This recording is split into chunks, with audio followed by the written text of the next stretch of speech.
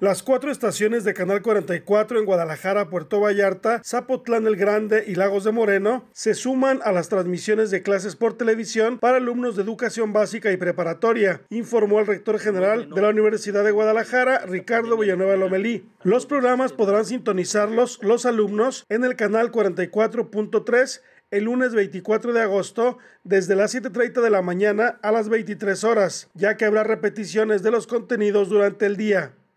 para que a partir de este momento podamos tener la señal 44.3 que podrá llegar a la zona metropolitana de Guadalajara, Lagos de Moreno, Ciudad Guzmán y Puerto Vallarta, para sumarnos a este esfuerzo del Estado mexicano para hacer llegar estos contenidos educativos eh, a, la mayor cantidad de jóvenes y niños del país.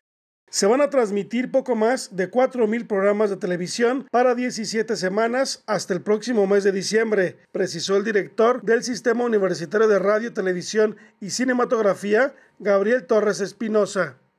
¿Y a quién va a impactar exactamente en el estado de Jalisco? A 308 mil alumnos de educación preescolar, a 923 mil alumnos de educación primaria, a 264 mil alumnos de educación secundaria y a 275 mil alumnos de educación media superior, según datos oficiales de la Secretaría de Educación Jalisco. Por su parte, Jimena Saldaña, representante de la Secretaría de Educación Pública, resaltó que difundir contenidos educativos por televisión durante esta pandemia es un gran reto. Por eso es importante la unión de organismos públicos y particulares para lograr el objetivo.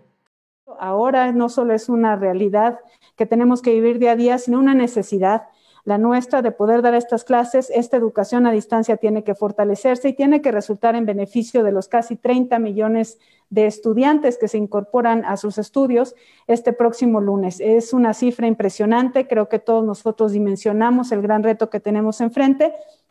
pero sobre todo que esto se trata de estar unidos todos nosotros para brindarles a nuestras niñas, niños, adolescentes y jóvenes la certeza de que pueden continuar con sus aprendizajes a partir del convenio que se suscribe entre la UDG, la SEP y el Sistema Público de Radiodifusión para transmitir las clases, el rector general Ricardo Villanueva dijo que existen planes para que en un futuro puedan desarrollarse contenidos específicos para los estudiantes de bachillerato de la UDG. Señal informativa, Ignacio Pérez Vega.